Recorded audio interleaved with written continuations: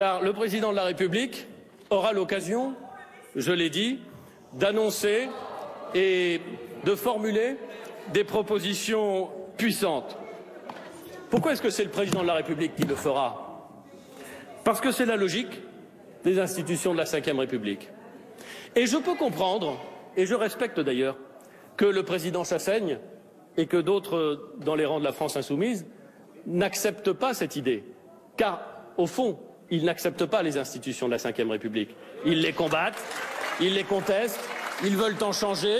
C'est parfaitement votre droit et c'est parfaitement respectable, mais ça n'est pas ma position en rien, car je crois fondamentalement aux vertus de la Ve République. Je pense qu'elle offre une grande stabilité institutionnelle. Je pense qu'elle a démontré depuis longtemps l'avantage qu'elle pouvait avoir pour gérer et pour permettre de gouverner un pays comme la France.